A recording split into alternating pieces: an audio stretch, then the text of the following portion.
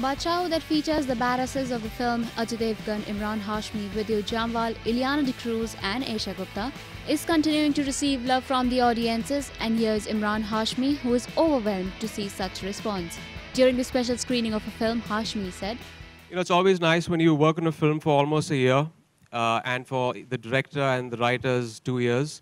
Uh, getting this kind of appreciation, the target audience, everyone is loving it. And these collections in these times, in the lull period in our industry, is uh, no easy feat. So Friday was a relief when it opened up to big numbers. Saturday it's picked up. Uh, today, hopefully, there'll be bigger numbers. So I'm just happy that everyone is being appreciated for their work in the film and our hard work is paid off. So yeah, it's a relief. Baadshaho is set during the 1975 emergency period is a multi-star film. It features these badasses who try to steal gold in transit for which they have only 96 hours, but will they be able to do so? Baadshaho released on September 1st, 2017.